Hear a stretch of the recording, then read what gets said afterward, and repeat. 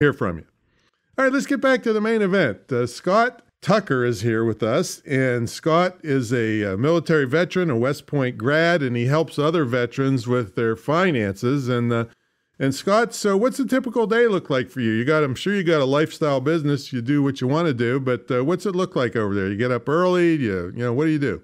Yeah, I mean, I mean, obviously this is uh, you know the the pandemic era, of course, but quite frankly, you know, I was so focused on my new. I spent a f- number of years kind of searching to find myself, and and uh, you know that led to a lot of the travels. I've moved to a couple different places, um, but once I kind of got dialed in on the mission, you know, it's kind of one of those things. You hear everybody, you know, get so focused on in on it where you know I'd, I'd go to conferences typically is what that would be the next thing on my horizon but the, the only thing that changed since the lockdowns st- uh, started for me was that I, I, just didn't feel so bad about not going out as much. So I was, I was just like, oh, okay, cool. It's like I've been sitting here, you know, I've, I've been starting to write and and uh, you know, learn to build websites, just learning all these new digital skills, teaching them self mm-hmm. self taught. Really, once I kind of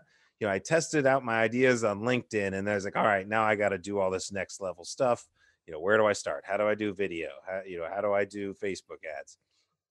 I just kind of been building building that up and so yeah typical day you know week for me is uh, just a mix of you know creating content. I kind of i'm not more of a like hey scheduling out my content. I i just go mm-hmm. with where where things are pulling pulling me i mean this last year i didn't write just one book i actually wrote a couple of other ebooks as well. Um, so and, and also published like 40 articles on my website. So that, but right now I'm kind of all tapped out on. Well, the tell writing, them about so, the books though, and, uh, the, and the main one. Yeah, so the main one's called Veteran Wealth Secrets, and uh, you know that it's a culmination of about uh, three years of me trying to